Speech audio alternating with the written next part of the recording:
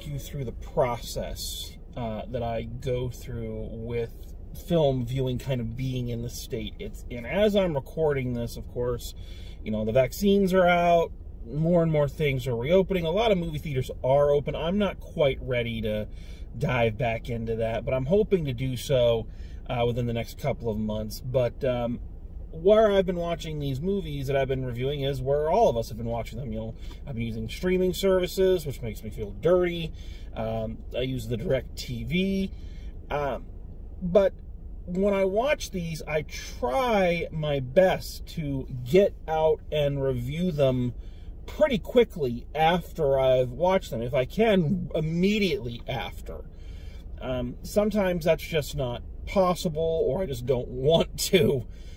And sometimes that's that's a good thing. It gives me some time to mull some things over, gives me some time to think about things, and as such, those reviews come out a little bit more coherent than the general reviews, which are just me kind of shooting from the hip and coming at it from a first impressions kind of thing. Which uh, I really like that format. I really like the first impressions thing.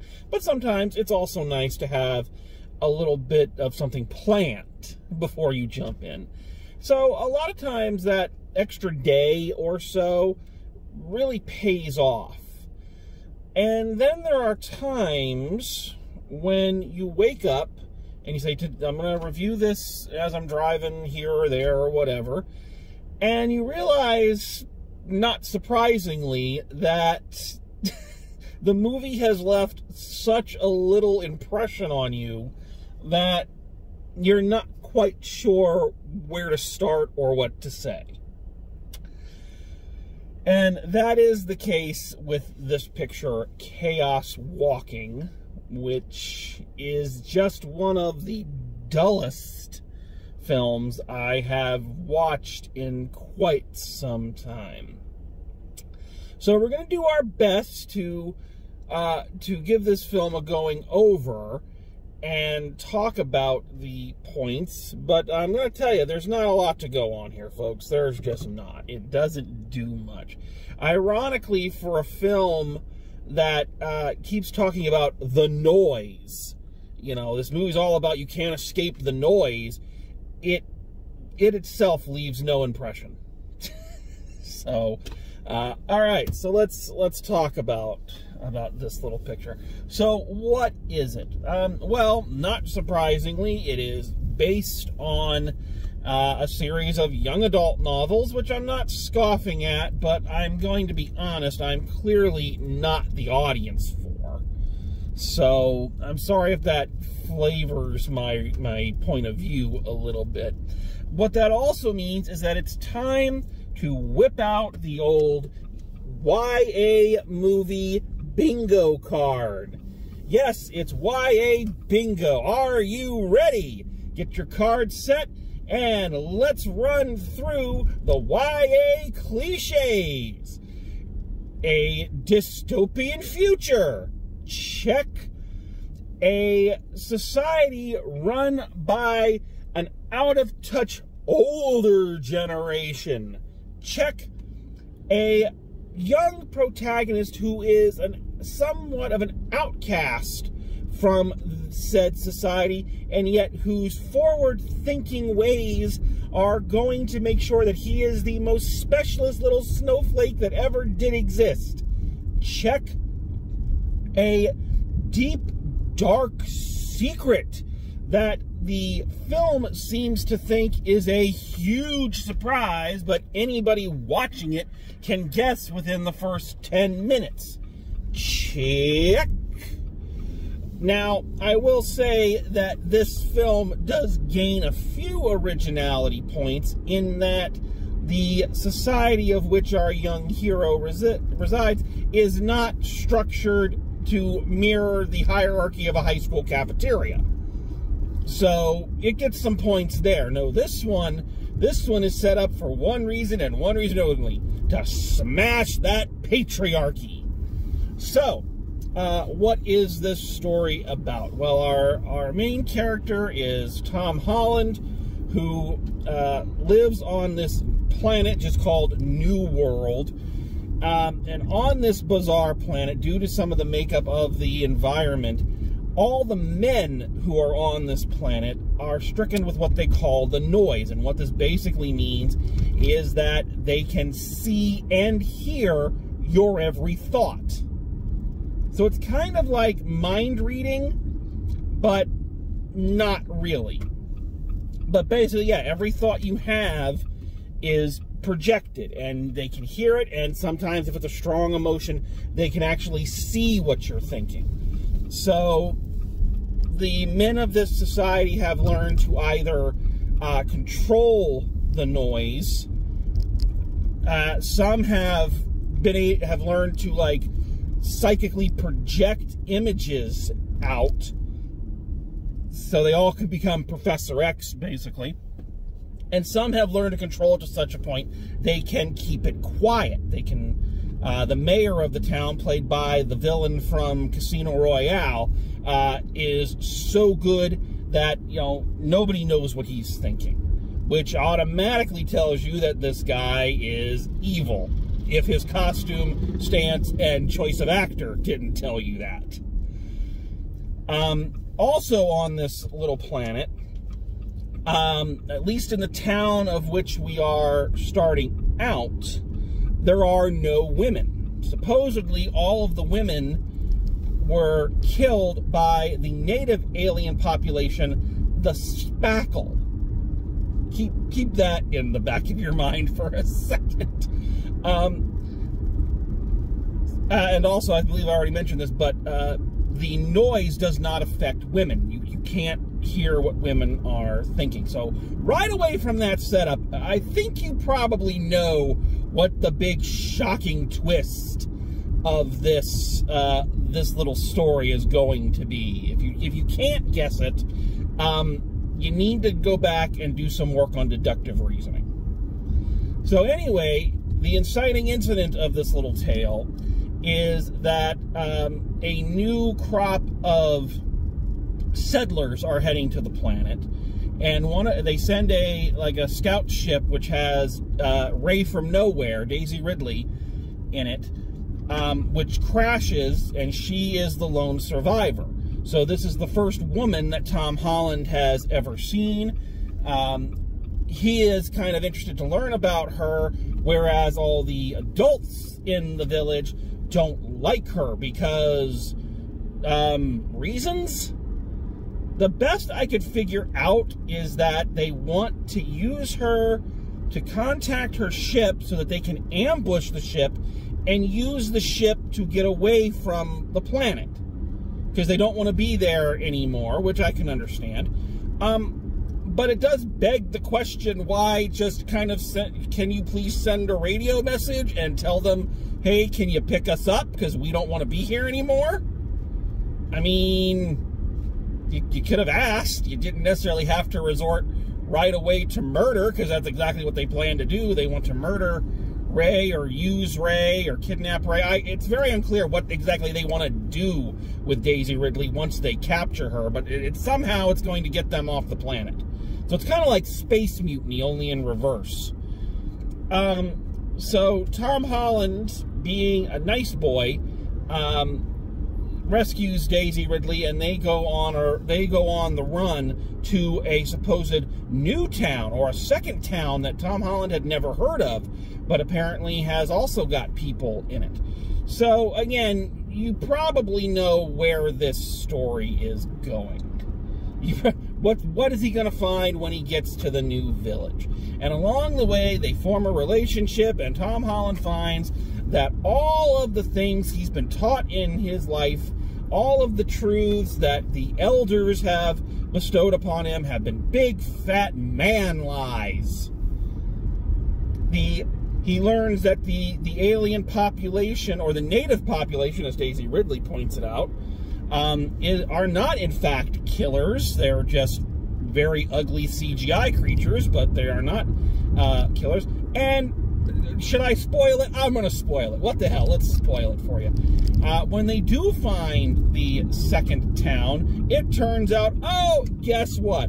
There are women after all. And they live in this town. It's not like an all-woman town, which is what I thought it was going to be, so I give the film credit for that. You know, just another community where the men aren't all psychotic murderers.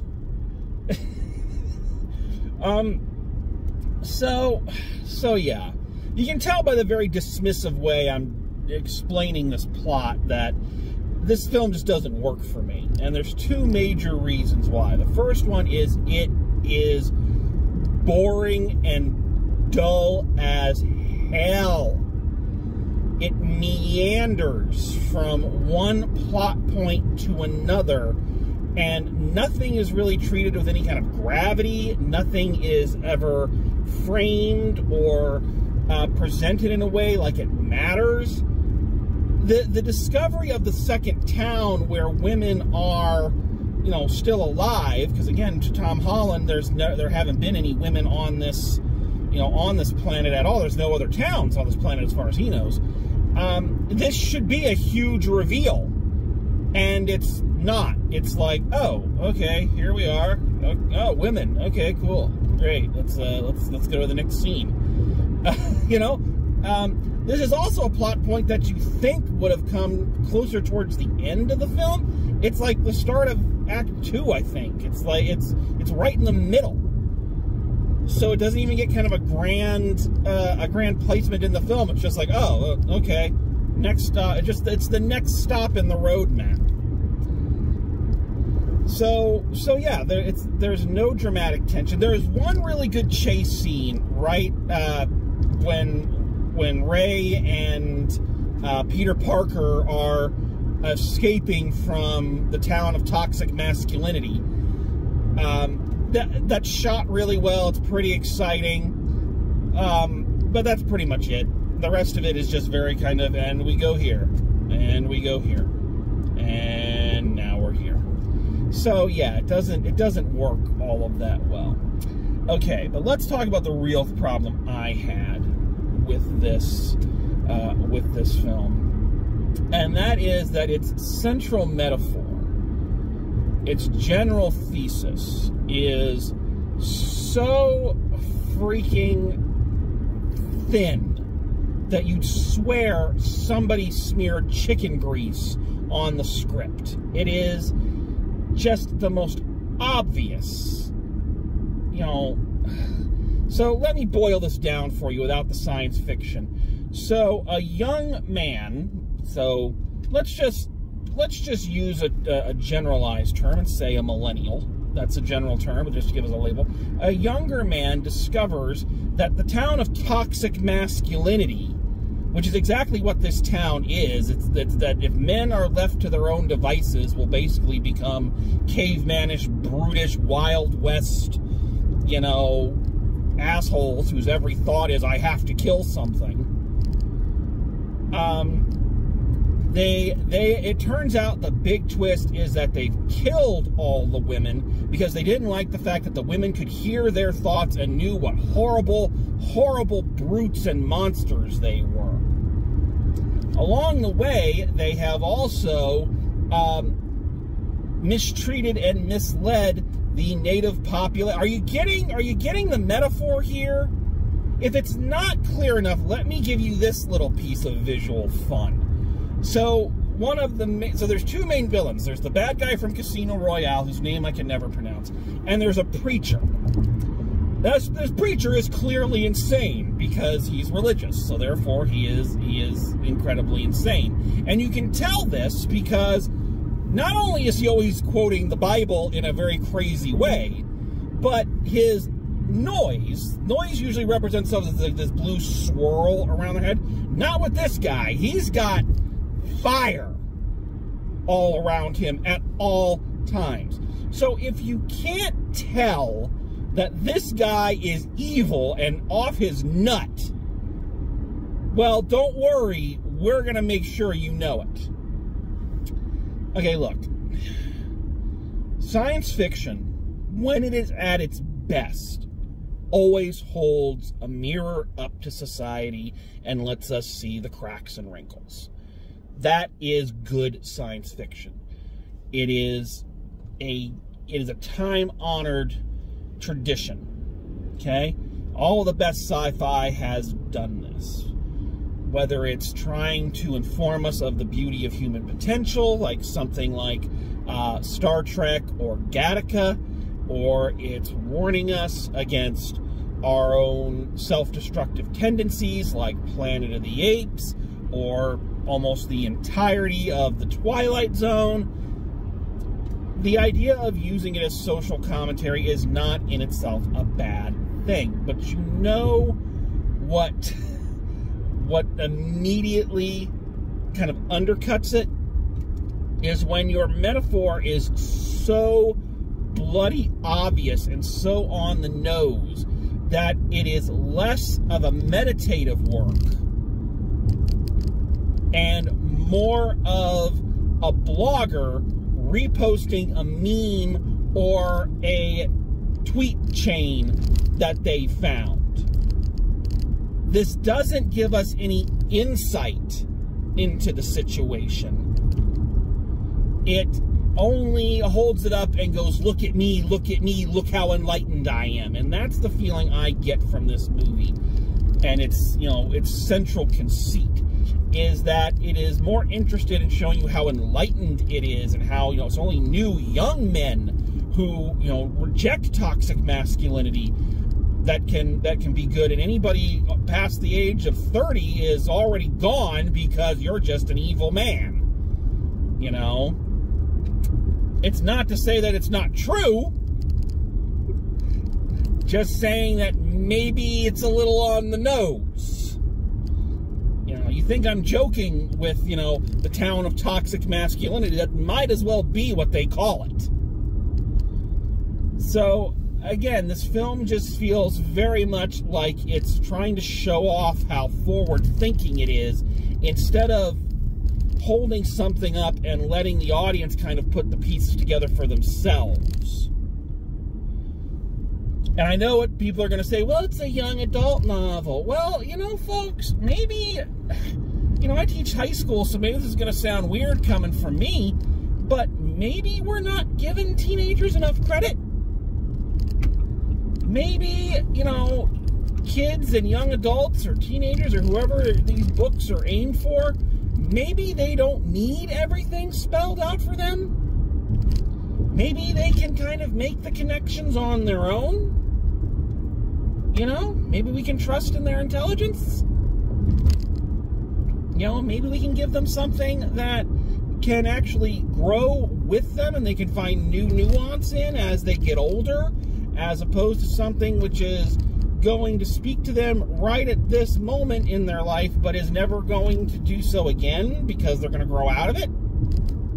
You know, just just an idea, just a thought, and I understand that that is way easier said than done. So please don't misunderstand. I get that that's not easy to do.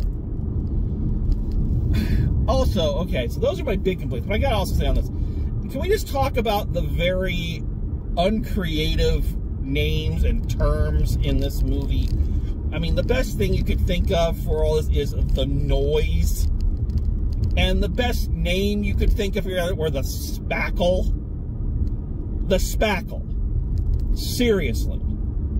The painting technique. That's what we're naming our aliens after here. Honestly. It would have been better if they were just, you know, called the natives or something. And hell, it would have this film loves being on the nose with its with its metaphors, that would have played right into it. I mean, it'd be better if they didn't have a name. You know, they're just like the others or whatever. It's, it's you know, more mysterious. But the frick, the, I can't take it seriously. Or like, uh, the spackle murdered my mommy. I, I can't. I can't, Tom Holland. I really can't. it just, it doesn't work for me, buddy. Sorry. Um, and yeah, and the whole thing is just very anticlimactic. I don't know. Obviously, this is a, a YA series because they're all series. You know, so there's, I think, I was doing a little bit of research. I think there's like three or four books in the series. I don't know. So I don't know if this one was trying for, um, you know, the first step in a proposed series, which, again, I believe that's the case because they all want their own Harry Potter, Twilight, Hunger Games. You know, any multi-film franchise that's going to guarantee you box office. Um, so maybe that's why it ends on such an anticlimactic kind of note. But again, the whole film is anticlimactic, so I don't know if it's just because they want to load the bases for a proposed sequel or if it's just because it's kind of dull and doesn't go anywhere. Um, yeah, so I, I fully admit that I am the wrong person for this thematically. Thematically, not thematically. I don't know why I said that. Um, I fully get that. So, you know, if you are kind of in the wheelhouse for this this type of thing, if this is one of the things you really love, then you may enjoy this one. If you're one of the fans of things like Divergent or The Maze Runner or whatever, then this is probably gonna be right up your alley. Um, me, sorry, it's just it's it's just too too blah. So let's do this. Let's go final grade for uh, Chaos Walking, which going along with everything else, is that just the most generic title you've ever heard? It's not mysterious, it's not interesting, it's not unique to the to the to the world as far as I know. Why at least the books when I was looking them up, they had some bizarre, interesting names. Why not go with that? Anyway, off off topic. So final grade for this little cinematic opus. Uh, I'm going a C minus. I'm going a C minus. So why a C minus as opposed to because I've done nothing but rail on the picture? Um, well, I because I'm going to give it a couple of bonus points. So first of all, like I said, um, the overarching metaphor is something different than you know the social standings of a high school cafeteria, which a lot of these movies are. So I give it credit for trying to do something a little different. While I don't like the way it presents its message, I do applaud that it's taking, it's looking at a broader social issue other than just, you know, popularity is hard and being a teenager is hard. So I appreciate that. I also appreciate, and I don't know if just this, this is just because it's a PG-13 film, um, I also appreciate that, you know, mind the mind reading thing, um, I was waiting for it to happen and it didn't. You know, you have a, you drop a woman into a town uh, of toxic masculinity. Um, I was waiting for which of these guys is going to think about nothing but raping her you, you were just waiting for you know, ooh, woman. Ah. Um, they don't do that. They go more the route with Tom Holland. Uh, if you if you remember that episode of Buffy the Vampire Slayer, which uh, speaking of which, date night podcast, listen to me and my girlfriend talk about Buffy the Vampire Slayer. Huh? Anywho, um, if you remember that episode of Buffy where she gets the ability to read minds and all Xander can think of is sex, that's basically what they do with uh, Daisy Ridley and Tom uh, Tom Holland is that he's he's constantly trying to push back thoughts about how pretty she is and how he wants to kiss her and all that. So it's played more for an awkward, um, awkward beats between them as opposed to I was just waiting for one of those animal guys in the town of toxic masculinity to just like be like, ah, oh, I'm gonna, oh, I'm gonna do horrible things to her, and they didn't do that. So they get they get some points. Also, I think the main thing that pushes this up out of the failing area is that you have a good cast. Tom Holland and Daisy Ridley are both really good actors. And when the film actually lets them interact, which is not a lot, um, it, it's pretty good. They have a nice chemistry. I like them. I wish I could see them in a real movie. Um, but the noise that he's constantly going gets very distracting, which is supposed to be the point. I get that but it's just it doesn't really work for me but i give credit to the fact it has some good actors in it who are doing some good goodish performances as good as they can do with the uh with the material that they're given so you know i'm willing to bend and not fail it but i i i can't imagine watching this again and i can't imagine thinking of it again once i hit the off button on this uh on this review so there you have it. Another YA franchise falls flat on its face. So, uh, there you have it. That's all for me. Uh, hope everyone is doing well. Take it easy, be safe, and as always, drive safe, and I will see you at the movies.